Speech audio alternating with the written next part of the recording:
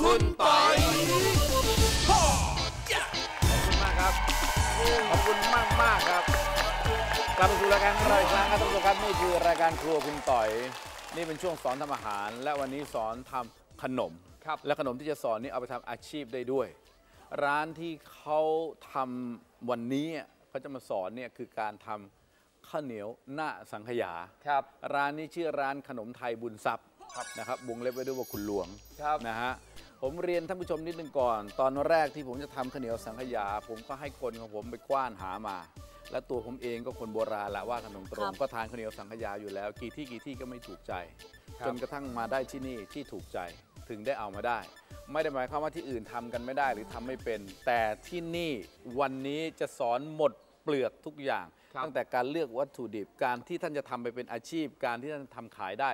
ต้องแบบเขาอืมถ้าไม่แบบเขาโอกาสที่จะรุ่งโอกาสที่คนเขาซื้อทีนึงแล้วแล้วจะกลับมาอีกทีเนี่ยจะไม่มีอ๋อใช่ใช่ใช่ใช่การจะซื้อขนมหวานท่านสังเกตได้เลยคนโบราณเนี่ยสมมุติว่าแม่นิ่ม ชื่อแม่นิ่มครับอ่าแม่นิ่มเขาจะจำได้เลยเขาจะบอกกับคนที่ในบ้านเขาเลยบอกไปซื้อขนมหวานแม่นิ่มมาครับเขาจะพูดชื่อชัดเจน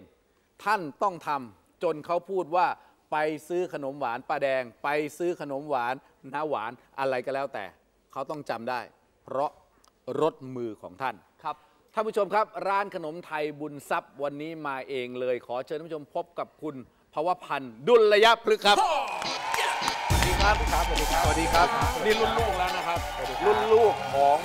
ร้านขนมไทยบุญทรัพย์ครับผมใช่ไหมครับผมรุ่นหลานหรือรุ่นลูก เป็นรุ่นหลาน รุ่นหลานเลยด้วยซ้ำร้านขนมไทยบุญทรัพย์อยู่ตรงไหนครับ อยู่ตรงถนนเจริญกรุงนะครับ อยู่ใกล้ๆตลาดบางรัก ใกล้ๆตลาดบางรักเวลาเราตรงหาบริษัทบางรักนะครับอยู่เวลาเราไปหาเมื่อเราไปหาปุ๊บมันจะไปที่ร้านเนี่ยต้องไปตรงไหนถึงจะเจอง่าย ๆ เรียกว่า คือถ้ามาทาง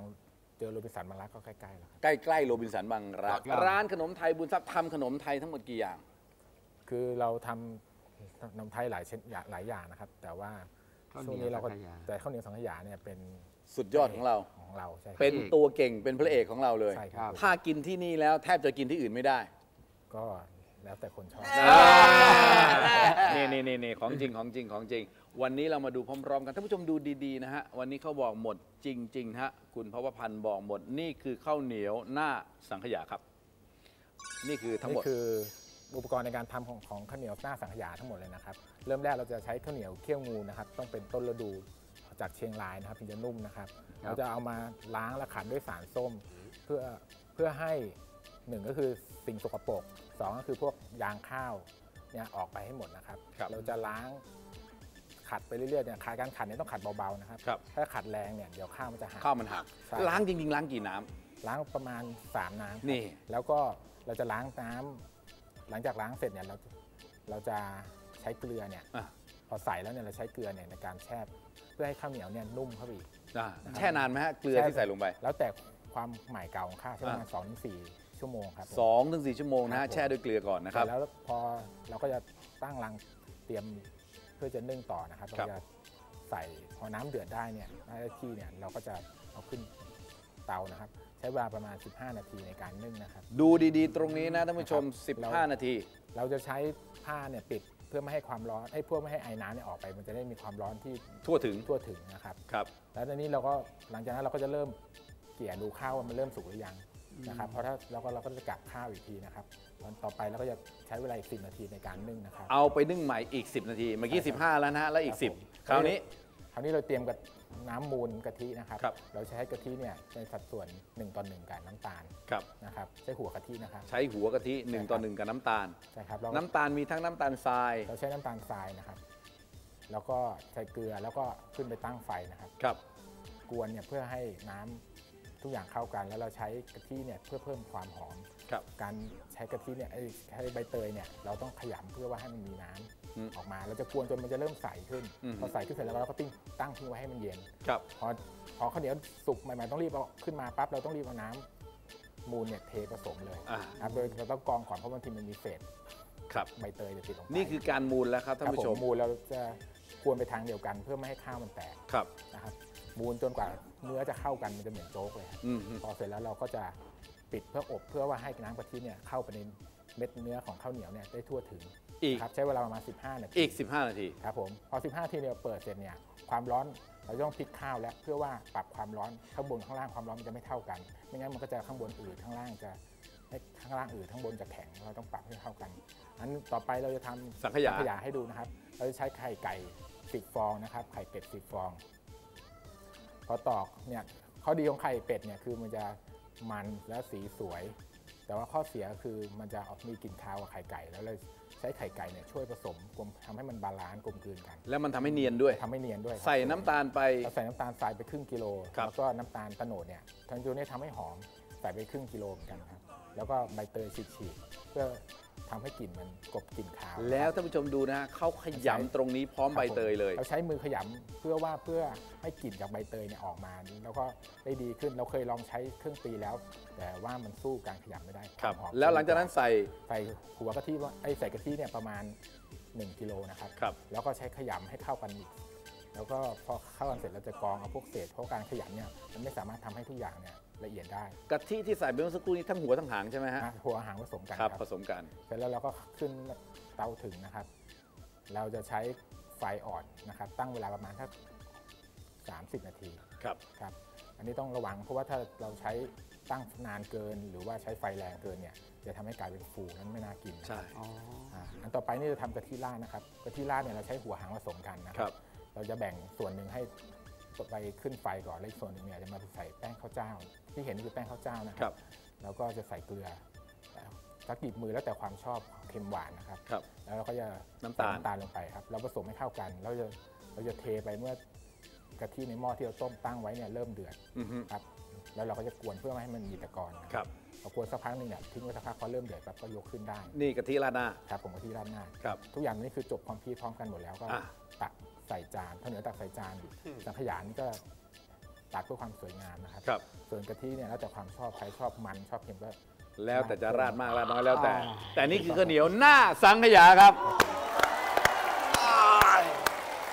ท่านทำกินเองก็ตามทำขายก็ตามลองฟังนะฮะเคล็ดลับทั้งหมดมันมีทีละส่วนก่อนเลยก่อนอื่นเลยข้าวเหนียวที่ว่าคือข้าวเหนียวเคี่ยวงูต้องเป็นต้องส่วนใหญ่ต้องแนะนำว่าถ้าต้องซื้อที่ ใหม่ แล้วก็ซื้อต้นฤดู แล้วก็ที่จังหวัดเชียงรายนะครับ ครับ เพราะนอกนั้นก็ถ้าส่วนใหญ่มามันก็จะแข็ง ครับ ครับ เพราะฉะนั้นข้าวเหนียวเคี่ยวงูของแม่จันเชียงรายเนี่ยครับ ครับผมเขามีชื่อสุสุดดชื่อที่สุดแล้วครับ ๆ แล้วก็เขาจะมีตั้งไม่รู้กี่ยี่ห้อนี่บอกกันตรงๆ ถ้าจะทำขายให้มันชัดเจนซะก่อนว่าได้ข้าวเหนียวเคี่ยวงูต้นฤดูดูใหม่ ต้องใหม่ ต้องใหม่ เพราะว่าครับถ้าเกิดว่าข้าวเหนียวไม่ใหม่ข้าวเหนียวมันเป็นกลางปีไล่ๆไปเรื่อยแฉะละๆอ่ามันไม่ใช่เอาไม่แฉะใช่ฮะมันจะแข็ง ไงโทษทีฮะแข็ง มันจะแข็งปักเวลาที่เราไปกินข้าวเหนียวแล้วหน้าสังขยาแล้วเปิดมาแล้วข้าวเหนียวแข็งปักนั่นแหละข้าวเหนียวเก่าข้าวเหนียวเก่าเก่าข้าวเหนียวเก่าแข็งไปอันที่หนึ่งนะฮะนั่นอันที่หนึ่งใช่ไหมฮะใช่ครับผมอันที่สองขั้นตอนในการล้างของเขาเนี่ยท่านผู้ชมเวลาเอาข้าวเหนียวไปล้างเนี่ยเขาล้างพร้อมกับสารส้มสารส้มเขาล้างตั้งสามน้ำนะครับล้างจนกระทั่งเรียกว่าน้ำสุดท้ายเนี่ยน้ำมันใสใสน้ำหน้าที่ล้างข้าวเหนียวมันจะสูงกว่านี้ประมาณเนี้ยครับผมแล้วใสแจ๋วเลยนั่นแหละครับเขาถึงจะเอาข้าวเหนียวนั้นไปหวด เอาใส่หวดแช่ เราจะแช่เกลือก่อนแค่เกลือก่อน ให้มันนุ่มครับอีกอ่าครับแช่เกลือก่อนอีกตั้งสองชั่วโมงครับผมนั่นน่ะครับเกลือใส่เยอะไหมเกลือใส่แค่หยิบมือครับเพราะถ้าใส่เยอะมากเนี่ยมันจะทำให้ข้าวเหนียวเค็มใช่ครับใส่แค่นั้นเองเพื่อนุ่มให้ให้นุ่มนุ่มเพิ่มขึ้นอีกอีก2ชั่วโมงใส่ทิ้งไว้หลังจากนั้นก็เอาไปนึ่งใช่ครับขั้นตอนการนึ่งเนี่ยนะฮะชัดๆ ก่อนเลยนะครับแรกสุดก็เอาไปครั้งแรกนึ่ง 15 นาทีใช่ครับผมแต่เวลาที่เขานึ่งเขากลัวที่ไอร้อนมันออก ครับผมเขาก็เอาผ้าผ้ามาอุดไว้เพื่อความร้อนจะได้ดันขึ้นได้เต็มที่ก็คือให้ไอ้น้ำทั้งหมดมันดัน มันได้ทั่วถึงหมดเลยใช่ไม่งั้นมันออกไปไง เดี๋ยวตรงนั้นสุก เดี๋ยวตรงนี้ไม่สุกใช่ครับอะไรอย่างนี้ เขาต้องการให้มันนั่นหมดเลย 15 นาทีนี้เสร็จ เอาออกมา ครับผม มาดูซะก่อนว่ามาเฮ้ย ดูว่ามันสุกหรือยังอ่า ครับผมเสร็จแล้วเราก็พอถ้าสุกแล้วเนี่ยเราก็กลับพอใจก็กลับข้าวเหนียว ครับ ครับผมเอากลับนะแวใครจะทำต่อครับ ก็กลับบ้านไปเลยไม่ใช่ครับ ไม่ใช่กลับข้าวเหนียวเอาข้างก็กลัล่าบงที่ข้าวเหนียวร้อนมากขึ้นข้างบนบ้าอ่าง พอเขากลับข้าวเหนียวเสร็จเรียบร้อยปั๊บ ก็ไปอีก 10 นาที ใช่ครับผม ครับผมอ่าละนั่นคือขั้นตอนของข้าวเหนียวข้าวเหนียวครับนะ เสร็จแล้วนะ เสร็จแล้ว เสร็จแล้ว สังขยาท่านผู้ชมอยากให้กล้องจับตรงนี้นิดครับ คุณมาดูตรงนี้กับผมหน่อยครับท่านผู้ชมดูด้วยนะฮะ ถ้าเห็น เห็นหน้าบนไหมฮะ ครับ มันจะแยและกหน้าล่าง เห็นนะฮะอ่าอืมเนี่ยเท่สุดครับนะฮะมันแหแบ่งมันเหมือนแบ่งเป็นเส้นเลยอ่านะเห็นเส้นสีไหมฮะครับเห็นนะฮะ มันเกิดขึ้นเพราะ สองไข่แล้วครับต้องไข่ใช่ มันอ๋อสองเหรอไข่ด้วยครับ และแล้วมัมันนเกิดขึ้นเพราะท่านผู้ชมต้องดูเลยนะฮะถ้าไม่สองไข่มันจะไม่มีสองสีอย่างนี้ ความร้อนเดียวกันที่ทำเนี่ยนะฮะครับ ในการนึ่งมันจะทำให้ไข่ชนิดหนึ่งลงข้างล่าง และไข่ชนิดหนึ่งขึ้นข้างบนมันเป็นความสวยของสี นี่จำไว้เลยนะฮะและทำไมต้องใช้สองไข่ ไข่ไก่จะทำให้เนียนนุ่มมากใช่ ครับ ๆแต่ไข่เป็ดจะเป็นตัวดึงเหนียวหนืด ครับ เหนียวสหนืวยดแต่ว่าและไข่สี เป็ดใส่มากไม่ได้คาวมาครับผม เพราะฉะนั้นมันต้องพอดีเขาใช้ 10 10 ครับใช่ครับและน้ำตาลบอกหมดแล้ว ใช่ครับ ทั้งหมดนี่บอกเกลี้ยงไม่มีเหลือ ครับผม กะทิราดหน้าแล้วแต่ชอบไม่ชอบ ครับ แต่อร่อยไม่อร่อย เดี๋ยวนี้เลยครับ ครับผม มาได้ครับคุณไตรภพครับเรียนเรียนเชิญอยู่ด้านนู้มีนเลยนะจฮะดหมายส่งมาครับจดหมายส่งว่า คือหน้าตามันเหมือนแบบซูชิเหมือนเหมือนข้าวปั้น โอ้ยนี่มันสมัยใหม่แล้วเขาก็ต้องทแหมำผมเนี่ยไม่ได้เลยเรื่องเรื่องเรื่อง กะทิอะไรนี่ผมดูแลตัวเองมากจริงฮะต้องใส่นิดหน่อยใช่ไหมฮะใช่ใช่ผมใส่ไม่ไม่ไม่เยอะใส่หมดนี่เลยเอาเอาฮะข้าวเหนียวใส่ลงไปในถ้วยกะทิเลยไหมฮะ โอ้โหผมไม่ได้เลยฮะ เดี๋ยวเดี๋ยวโทษนะ เดี๋ยวลองเดียวๆก่อนยังไม่เกิดกะทิขึ้นเลยนะครับคุณผู้ชมครับ อันนี้อะคือลองข้าวเหนียวมูลกับตัวสังขยาก่อนเลยอะทำเผื่อไว้เลยฮะ เป็นไงอะอืมอืมอร่อยเป็แล้นวไงนะ เป็นไงอะตัวสังขยาหวานมาอะกคุคุณณผู้ชมครับคุณโก้คุณโก้ไม่ได้ใส่แหลแบบมด้วย อ่าแล้วคุณโก้ใส่แบบใส่กะทิไปแล้วเป็นไงถามจริงๆเอาจริงๆเลย คือหนูบอกเลยว่า อาหารข้าวเหนียวสังขยาเนี่ยอ่าหนูกินมาตั้งแต่เด็ก ใช่ ก็รู้สึกว่าก็แค่นั้นอะ แค่นั้นน่ะเอธรอรมดาเออ แต่ว่าพอกินอันนี้ปุ๊บเนี่ย รู้ รู้เลยว่ามันไม่แค่นั้น คืออร่อย แตกต่าง แตกต่างใช่เงียบเงียบกันหมดเลย แตกต่างสุดสังขยาแทบจะหาแทบจะหาซากร่างกายสังขยาไม่เจอๆ ไม่นะเจอเลย พมัอนจะเข้าปากเข้าไปปุ๊บไปเลยไปเลยมันจะเนียนละลาย แล้วก็มีความอ่อนมีความเหนียวอยู่ในตัว นี่คือทั้งหมดที่บอกในวันนี้เอ่อน้องไปทำอะไรแถวนั้นมานี่เลยครับคุณอาครับ คุณอาครับ เออเขาลืมสังขยาผมมา เขาไม่ได้ลืมไม่ฮะลืมคุณหรอกกินหมดคุณกินหมดฮะแล้วคุณกินหมดฮะอืมนี่ไงนี่ไงมันหายไปเลยอะ เดี๋ยวนะครับ โอ้โห วันนี้ต้องขออนุสุดญาต ยอดอร่อยมาก อร่อยมากฝากบอกคุณแม่คุณพ่อด้วยนะ ครับ สุดยอดมากครับ ๆ มีสีแรงที่ผมหาตั้งนานอร่อย ผมนะท่านผู้ชม เวลาที่ท่านได้ยินของพวกเนี้ยข้าวเหนียวสังขยาเอ่อเอ่อข้าวเหนียวถั่วดข้าวเหนียวถั่วดำนะ แล้วก็อะไรอะำข้าวเหนียวดำหน้ากะทิเรายังไม่ทำนะข้าวเหนียวเต่าอืมพวกเนี้ยไปกินไข่เตาไข่พวกของไทยแกงบวชอะไรต่างขนมไทยๆมันฟังแล้วง่ายไงครับผมแต่เวลาจะหาสูตรมาบอกท่านยากสุดๆก ว่าไปเจอร้านที่ถูกอร่อยใจว่าที่มันใช่จริงๆอะเนี่ยวันนี้เจอแล้ว แล้ววันนี้บอกทั้งหมดแล้ว และวันนี้ต้องขอขอบคุณร้านขนมไทยบุญทรัพย์นะครับ และต้องขอขอบคุณคุณภาวะพันธ์เป็นอย่างยิ่ง ขอบคุณท่านผู้ชมที่ติดตามชมรายการเรามาโดยตลอด ท่านเชื่อผม ถ้าทำสูตรนี้ไม่ว่าท่านอยู่ส่วนไหนของประเทศไทยอยู่ตรงไหนก็ได้ถ้าเช้าท่านเอามาตั้งขาย เย็นท่านเอามาตั้งขายค่ะเขาไม่กลับมาอีก ผมให้ตัดคอนวัดเลยครับ ได้เลยครับ ตัดได้เลยอะนู่นตัดได้เลยครับ รับรองครับไม่ว่าวันนี้ใครขอบคุณมากครับ เวลาหมดแล้วลาไปก่อนจนกว่าจะพบกันใหม่วันนี้ สวัสดีครับ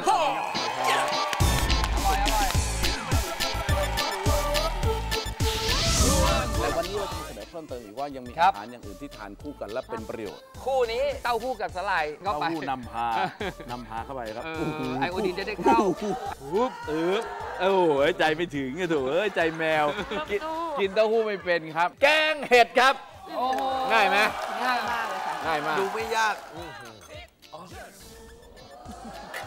มันรวมกันแล้วมันนะครับปึ๊บผมกินอันนี้อืมยัง ไงต่อครับก็ตามมันเพลินครับมันเพลิดเพลินอยู่